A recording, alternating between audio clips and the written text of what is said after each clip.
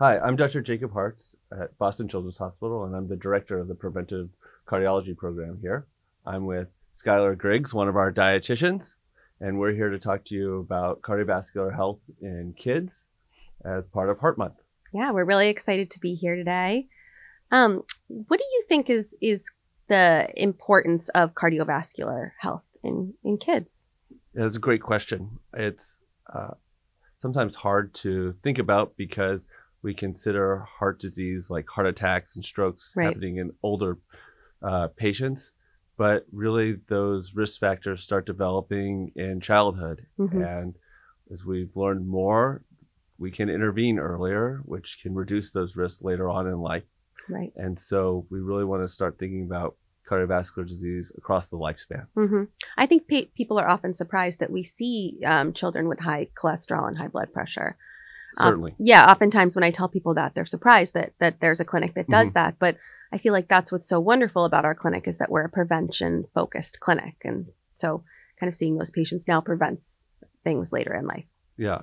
And one point to make is that oftentimes these risk factors, they're not going to show up on a physical exam, Right. but through screening like uh, blood pressure at your well child visit or lipid screening, which we recommend to occur between the ages of 9 and 11, and again, sometimes between 17 and 19 years old, hmm um, because these are sometimes hidden risk factors. In fact, blood pressure used to be called the silent killer because people just didn't know they had it. Right. And Right. so finding those out and uh, addressing them early is always important. Right. And I think it's been really interesting to kind of see what foods affect cholesterol and, and blood pressure. Yeah. We have um, evidence based recommendations around the things that we generally think, you know, improve blood pressure and, and blood cholesterol. And we spend some time with our patients, um, as you know, kind of discussing those things related to their lipid abnormalities, which I think is a great thing within our clinic is that we provide such specific counseling based on on those numbers.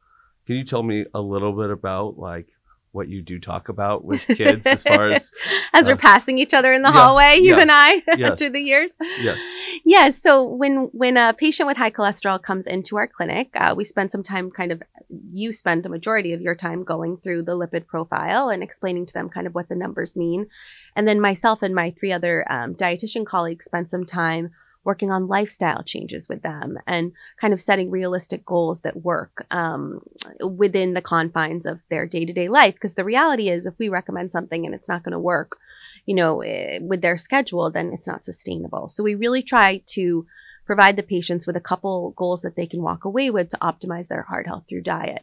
So thinking about things um, again this is very dependent on the type of high cholesterol you have but different types of healthy fats and unhealthy fats, increasing your intake of fiber and and fruits and vegetables and whole grains. Um, you know, you and I often joke that a general heart healthy diet diet is really just a healthy lifestyle.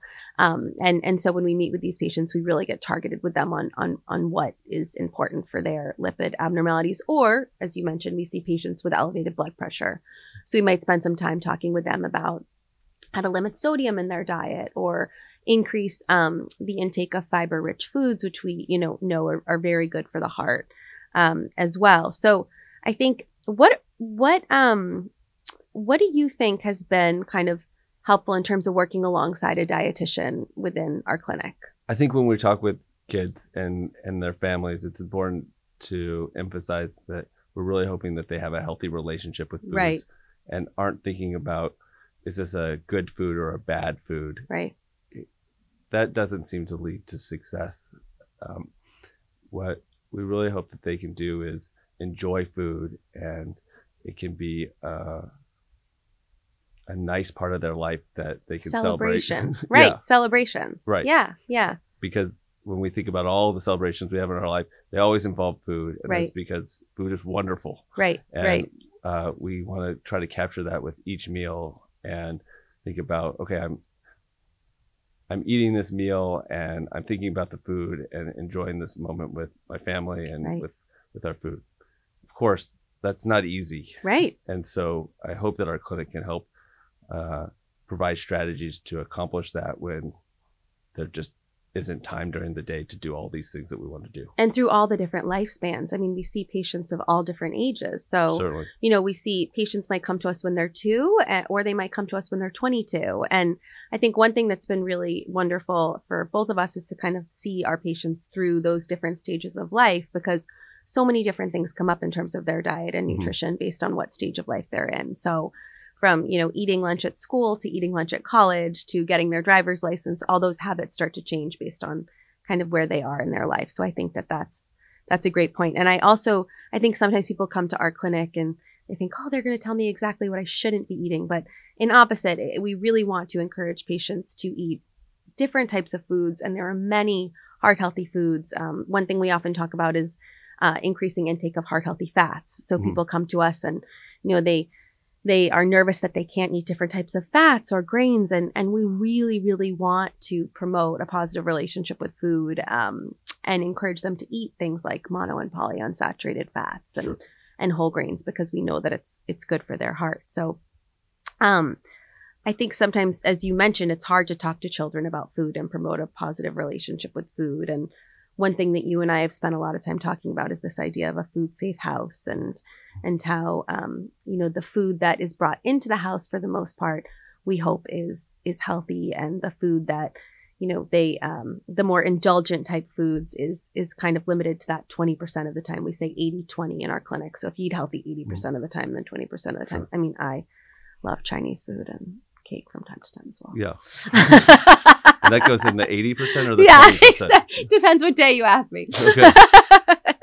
yeah, I think when you brought up bringing food into the home, that it's Yeah. really important to think of um, the whole family being involved. It becomes really challenging for a child to make a change if they're the only ones who absolutely are um, having this change be put upon them. And I think we find that families, even though they may be reluctant at first, uh, really get engaged and enjoy making these changes when they're all doing it together. Hmm and that's where like we find the most success. It's Right. um it's really hard if it's just one person. And, absolutely.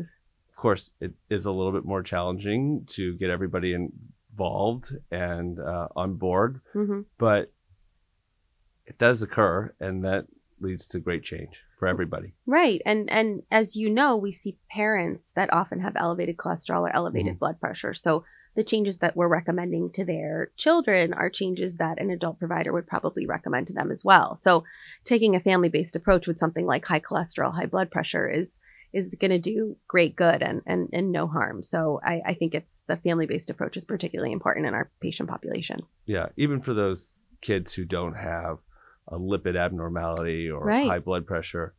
These healthy lifestyle choices uh, an appropriate diet and a sufficient physical activity are um, are beneficial to them. And it's beneficial to be uh, to have these health behaviors. Even if we don't see the changes in the numbers necessarily we still know that they have an effect on your overall cardiovascular disease health and just overall quality of life. Yep. I think that's absolutely true. And I think sometimes when um when patients come in, they it's it's almost more beneficial to say, hey, let's work on increasing your intake of healthy fats like avocados and fish and Mhm. nuts and seeds.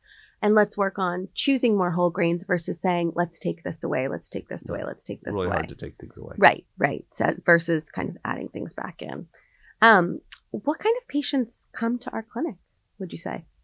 Um, they come from all over and a variety of risk factors and backgrounds.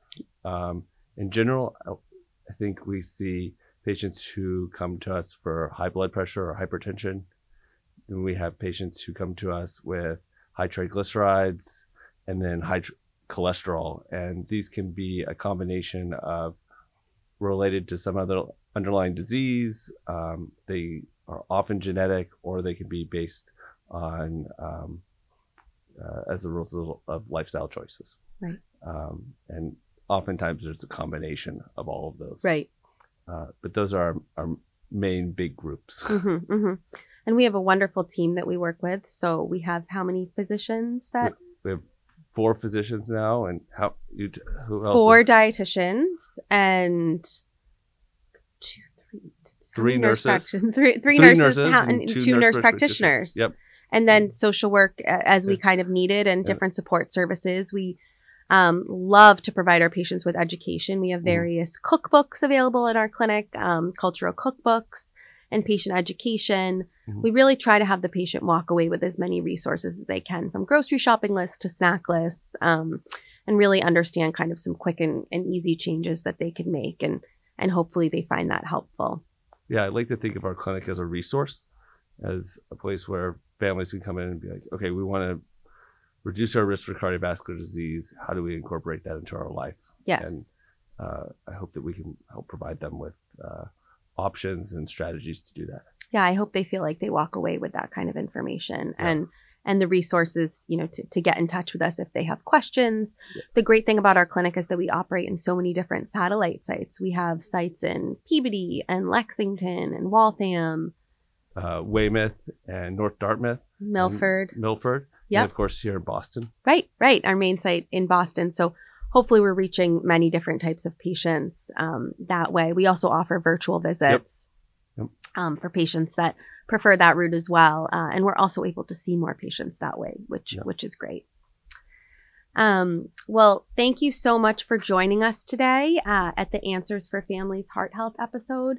We really appreciate your time and we hope that you found some useful tips in this discussion. Yeah, thanks so much.